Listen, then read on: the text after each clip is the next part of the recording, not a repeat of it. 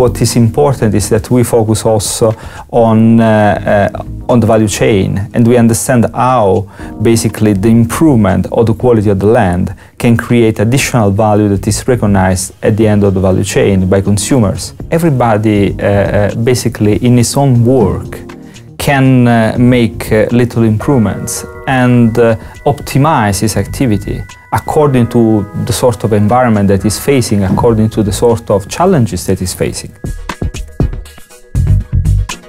For us, farmers are uh, uh, risk managers, so the ones that are really managing agriculture.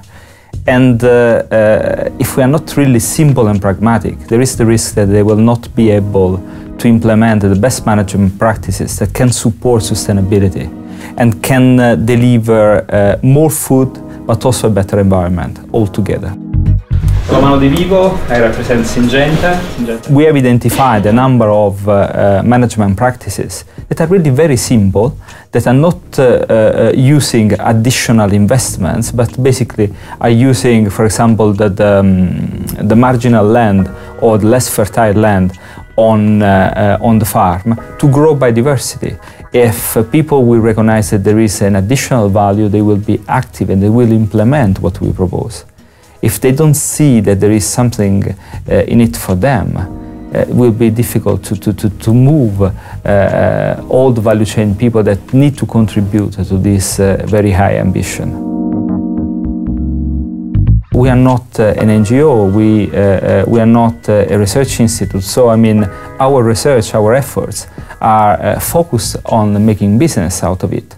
But we believe that uh, we can be in business also doing the right things. And the idea here is that as solution providers, we contribute to create a technological platform so we are not the only company. There are other companies, other solution providers that together can support the farmers to improve productivity, but also management of the land. I really believe that uh, without uh, a multi-stakeholder approach, it's very difficult to achieve concrete results. In a very first uh, uh discussion, uh, we have touched based on uh, the idea of um, an academy to transfer knowledge on soil management.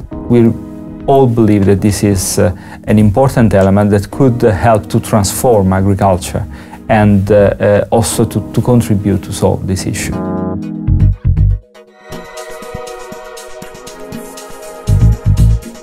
If with the help of the authorities we can link up all the field margins in a landscape Obviously, we are creating corridors, we are creating a better environment on a landscape level. That means that uh, we can have back uh, a number of uh, uh, uh local species and we create corridors for these species also to move in the landscape. It's something much better, much more concrete and something that can really change then the quality of uh, agriculture and the quality of life of all people.